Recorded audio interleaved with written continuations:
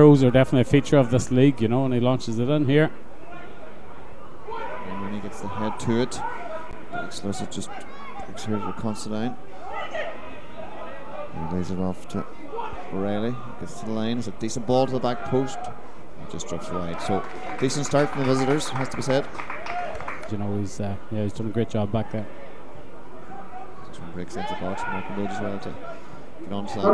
It's just been missed by Kirkland. There's a break on here to McNamee. He's going to go right to Markham Bully. One man to beat. He's through and goal, Markham Bully. Oh, he just dragged the shot wide of the post. It looked like he just done everything right there, Rory, but just at the last minute, he just maybe pulled his shot a little bit too far past the post. The back post this time for Jimmy Watson. Again from the training ground, he's got time to pick out a man here. It's a good ball in. It's well done by Bernard David Colley on the edge of the box. To get a shot away, no, he just laid it off here to Jimmy Watson again. He thinks to the back post. Matty Mackison gets up, but it's just it was just a wee bit above him and it was really hard to get onto. The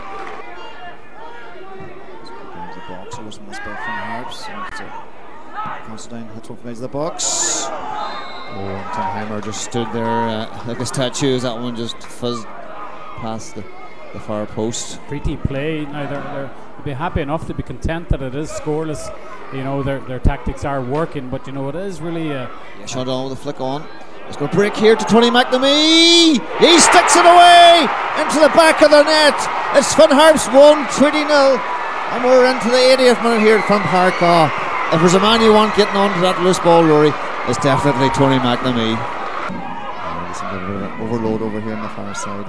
Trinity, no, it's been scuffed in there by Stephen Christopher. Just didn't get a hold of it properly, but there's a chance here to get the ball out wide. It's the substitute O'Connor's going to whip one, and it's a dangerous ball into the back post. Put themselves lucky there. that was Jamie Watson, at the back post, managed to turn around the corner for, for a corner kick.